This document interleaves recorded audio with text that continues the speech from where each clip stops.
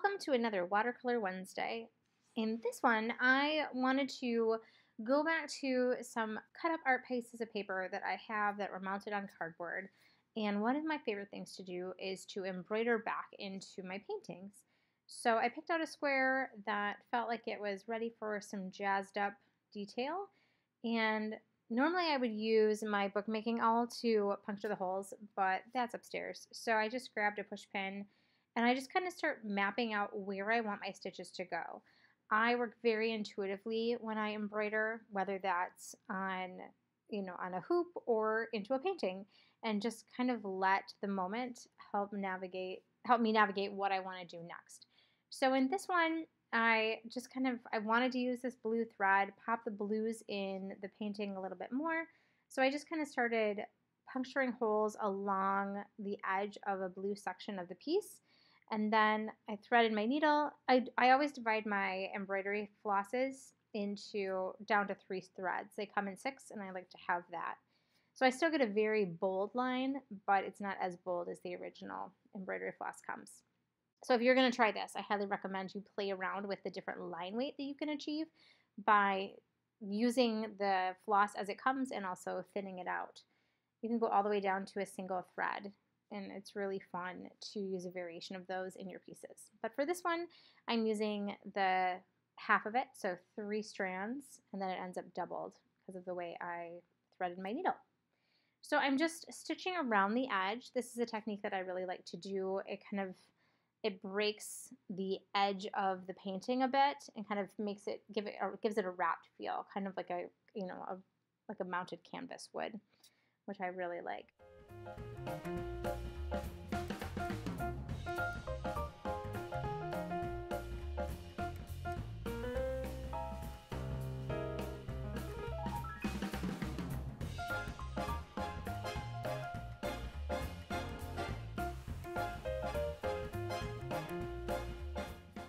And then kind of just seeing after each section is done what I want to do next. And then when I get to the end of a section or my thread is running out, I always go to the back side and try to knot it off as best I can. And that just kind of helps secure your stitches. And I do like to do it in sections like that, both because of how much thread I like to work with and then also just making sure that everything's nice and secure as I move to another part of the artwork. So then I move down to another section and start puncturing holes along there. I oftentimes find myself doing repetition with the type of stitching that I do.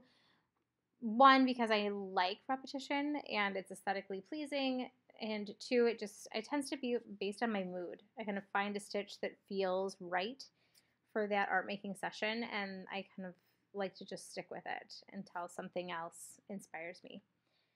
So for this one, I'm doing some longer pieces, kind of going over the streaks of paint that are happening on the front of the picture and getting a little bit creative with how I knot it on the back so that it's nice and secure.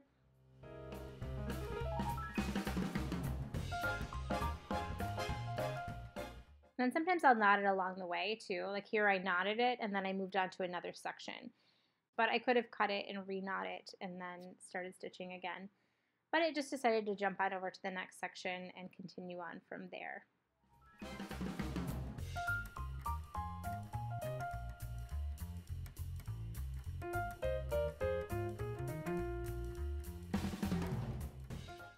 And then you'll notice every now and then I'm kind of, when I stitch around the edge, I do like to scooch it a little bit and make sure that my thread is going where I want it to.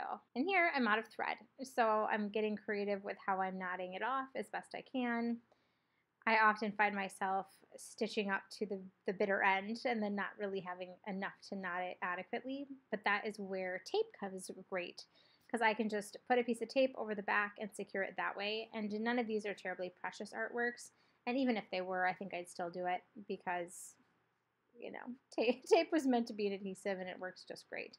Here I'm using washi tape because I happen to have some on hand, but in the past I've also used masking tape as well.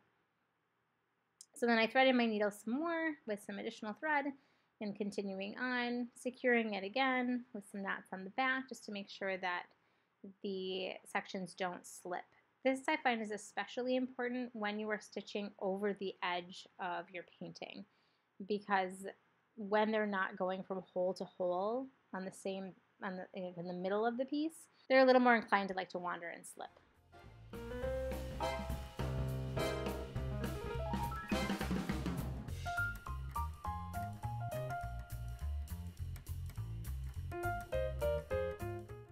And then some more tape to secure it just to make sure that everything's going to stay right where I want it to.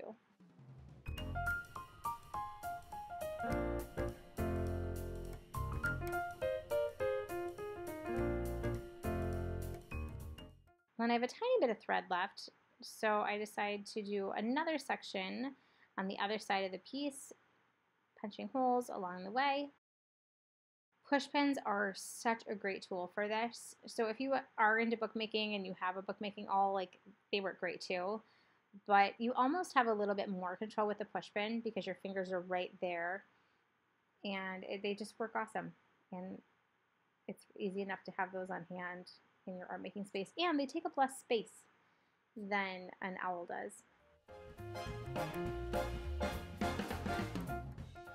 What I like about this section of the piece at this point is that the blue going around the edge on the white section kind of helps unify the piece as a whole. It continues the line quality that I've created in the other sides of the picture, but it also maintains the brightness while also breaking it up a bit which is something that I I guess I could have achieved that with marker too, but I love that it's got the three-dimensional quality of the thread. And again, securing on the back, knotting it through, and then I broke my needle. so that's never happened before, so that was interesting. So I just cut that off and knotted it the rest of the way and trimmed it up. Now I'm pretty happy with the, the stitching at this point, but it feels like it needs something more. So I decided to get out my watercolors and continue on with the color palette that the original piece was done in, but really beefing up the color and the value and the hue and just really going for it to create some drama in this piece.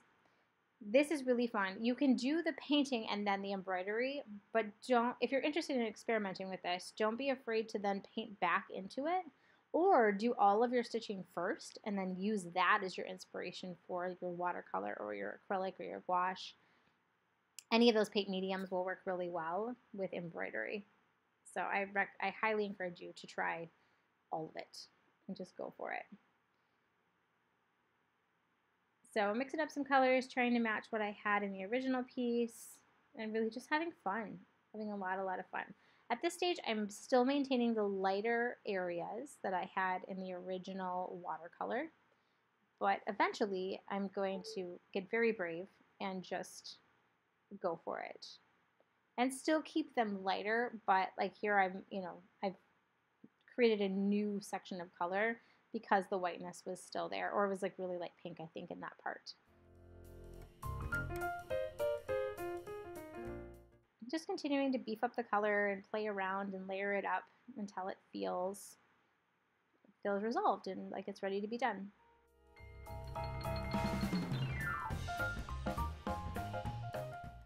I absolutely love watercolor embroidery, as I said. So if this is something that you are curious about checking out more, I have a Skillshare class that is embroidering back into your paintings, both watercolor and acrylic.